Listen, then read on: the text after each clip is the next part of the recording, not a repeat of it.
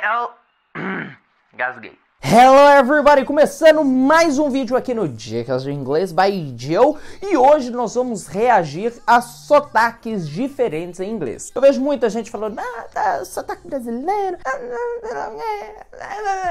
Gente, sotaque não importa, sotaque não importa. O que importa é você falar inglês e eu te entender, a mensagem ser passada. Isso daí que é importante. Eu sempre falo que sotaque não importa e a pronúncia importa, porque a gente tem casos aí de coisas, é, deu ruim, porque a pessoa não sabia falar inglês direito, eu vou trazer esse vídeo ainda no canal. Espera.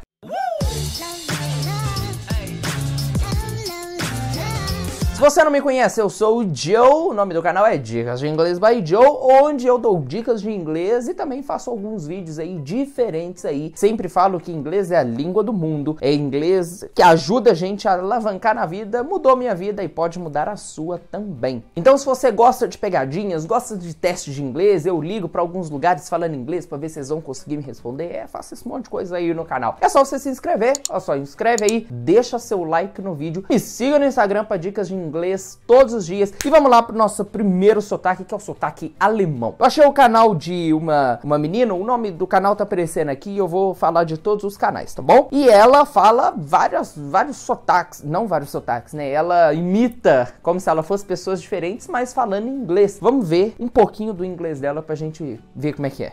So last night we were making the party and it was really good. I forgot the rucksack. Covent Garden is not even a garden, so we're definitely not going back there. Você repara que o jeito de falar o R é diferente. Na hora que ela vai falar a palavra garden, que é jardim em inglês, ela fala garden. Garden. É, é, é, é diferente. É, é, dá pra entender, é claro, sem problema nenhum. Mas é bem diferente. Vamos continuar. We brought the rucksack. The waiters here in England, they're very rude, yeah. All I wanted was a pizza, so I say, I become a pizza, and he's laughing at me.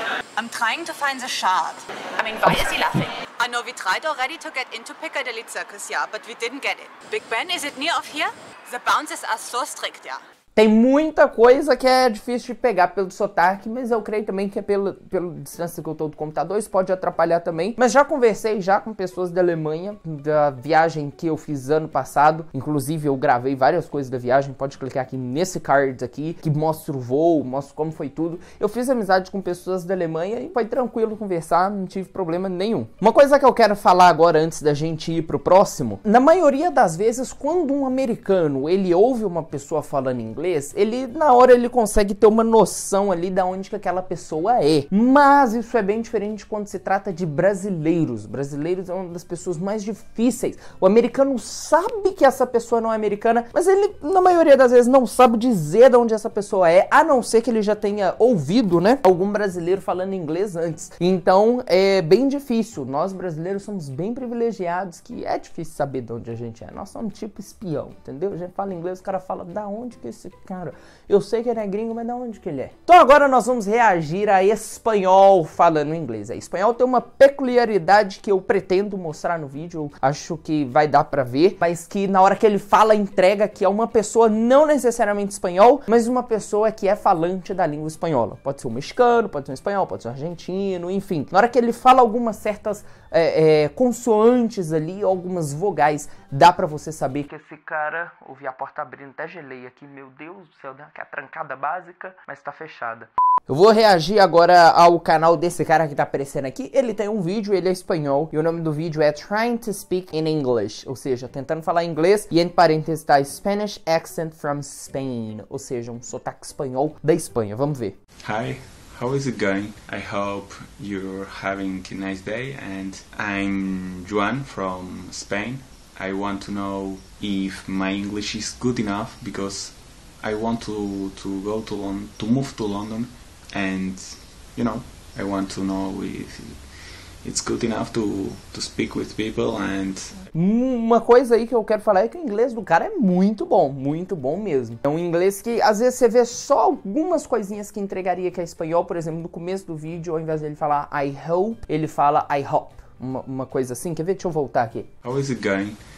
I hope you're I having hope. a nice day Viu? and uh, I'm Juan from. Uma coisa do espanhol também que eu, eu percebi ali, que é muito comum da gente ver em pessoas, né, falantes de de espanhol é que na hora de falar inglês, o L fica muito diferente. No inglês americano, a gente coloca a língua no céu da boca, no céu da boca. Então fica, por exemplo, a palavra very well, a gente fala assim, very well. Olha só como é que fica. Uh, vamos ver outra palavra aqui também, world, que é mundo em inglês. Então, olha, well world. O L sempre tá lá. No espanhol ele faz a mesma coisa, mas o L soa diferente. Então ele fala well, entendeu? Olha só, ele puxa pra frente. Ao invés de falar well, ele fala well. E ali na hora que ele vai falar people, que a língua vai lá, people, né? De pessoas, ele fala people. Ele, ele dá um l. Quer ver? Ouve aí agora, vou colocar aqui junto também. People call to understand me.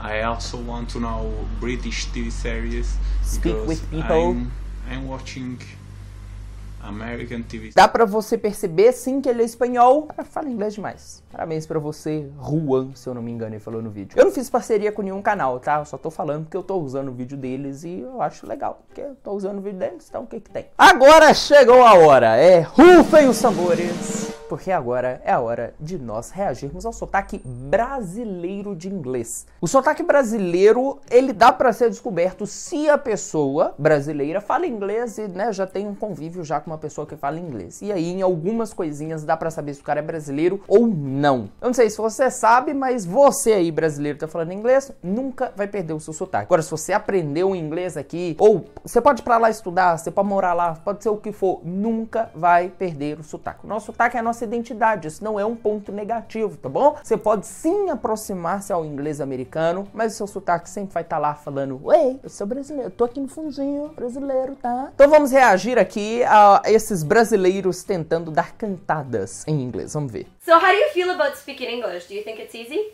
Easy. Hey girl.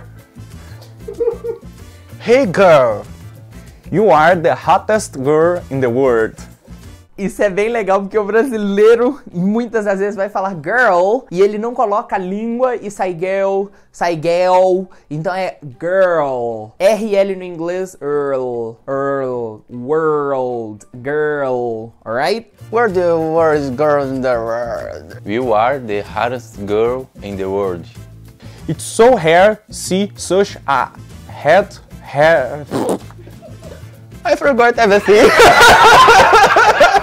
such a head hair. It's so hairs. Uma coisa legal ali também que eu vi é, é, o everything. Você tem que colocar o TH, você coloca a linguinha no meio do dente, então fica e não é everything, é everything. E ele tem dois sons, também pode ser, por exemplo, that, those, these, this né? São palavras que o TH tem um som mais de Z, tem um som anasalado. E a maioria dos outros não. Então, thank you, thirsty, né? Que é sede em inglês, ou obrigado, é com esse som, com esse som assim, tá bom? Sopinha de maçãzinha para você. Hair, see a such head hair.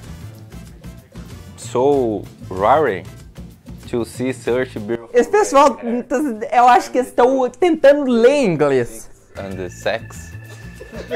Tell me the truth, drink on sex. Uma coisa que eu quero falar também é que o brasileiro, ele tem muita mania de colocar um i no final, né? A gente tem mania. Por exemplo, a gente fala assim, olha lá, notebook. Então a gente, na maioria das vezes, tem mania de trazer isso pro inglês. E aí a gente fala book, né? The book is on the table. Nada disso. Então, no inglês você sempre engole ali. Então você fala notebook, que é caderno, inclusive, porque computador, notebook, notebook, a gente fala laptop. E não é laptop top. Então, tira esse i também, que isso muitas das vezes acaba entregando que é brasileiro. E uma outra coisa que entrega que é brasileiro é tirar o sujeito da frase. A gente tem mania de falar, o assunto aqui é computador. Aí eu vou e falo I like. Só que não, I like it. Você tem que colocar esse it que representa o computador, que não tem tradução, mas tem que estar tá lá para falar que it é o computador. Eu gosto de computador. So, o assunto já tá lá rolando, eu falo I like it. Alright? Eu espero que você tenha gostado desse vídeo de React e tenha se divertido um pouquinho também, aprendido aí que sotaques aí não importa, a gente consegue entender sim. O nosso foco é entender inglês